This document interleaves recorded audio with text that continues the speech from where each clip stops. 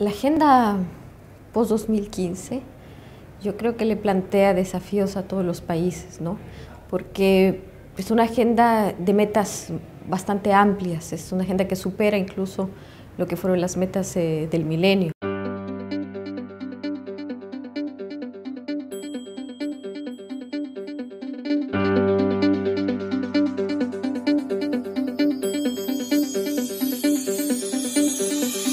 Este encuentro de las academias diplomáticas iberoamericanas tuvo un contexto central, el desarrollo dentro de Naciones Unidas de un acuerdo de todos los países en torno a cuáles son los objetivos del desarrollo sustentable del 2015 al 2030.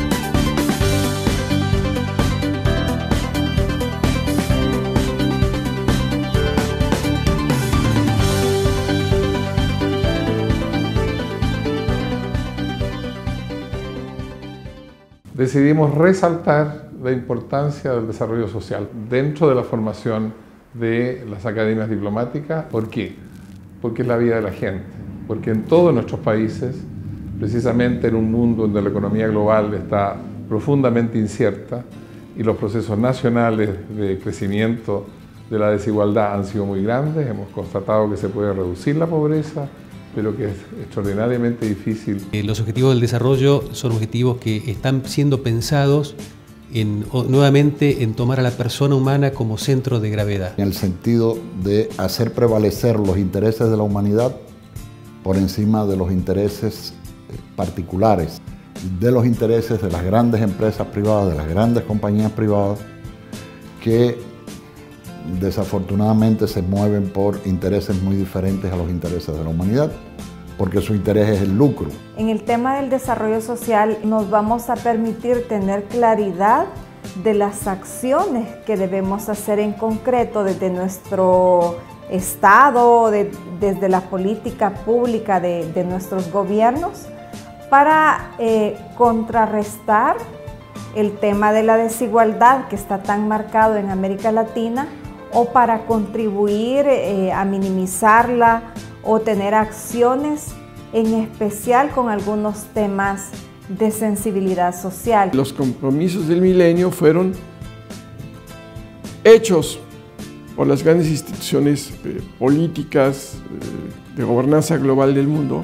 Y en cambio estos ya son hechos por los países desde el punto de vista de las necesidades de transformación económica y social con inclusión, con inclusión y con sustentabilidad. Retoma un concepto acuñado ya hace cerca de 20 años, en la cual lo económico eh, se articula con lo social y lo medioambiental.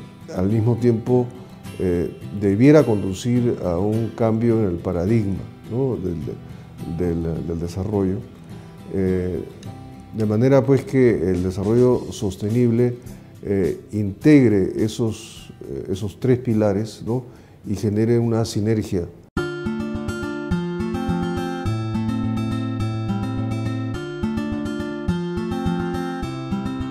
En nuestras academias tengamos en cuenta la cultura valiosa y enriquecedora de nuestros pueblos. El diplomático tiene que llevar adelante lo que su país decide que sea su política de desarrollo social. Fomentar la enseñanza eh, de esos objetivos del milenio, de esos eh, eh, objetivos de desarrollo sostenible. Y para hablar de dos de ellos, desarrollo humano y desarrollo sostenible, yo entiendo perfectamente bien que en particular esos tienen una, una, una, proyección. Ese intervínculo, esa, esa holística entre economía, sociedad, la parte social y la ambiental, de todos modos es un concepto en construcción. No queremos ser el primer exportador del mundo per se, sino para que eso derrame beneficios a la población. Por eso es que en la medida que se puedan ir cambiando los modelos de desarrollo y podernos acercar a un modelo alternativo al capitalismo, estaremos un poco más eh, definiendo la tendencia a alejarnos de esa crisis sistémica.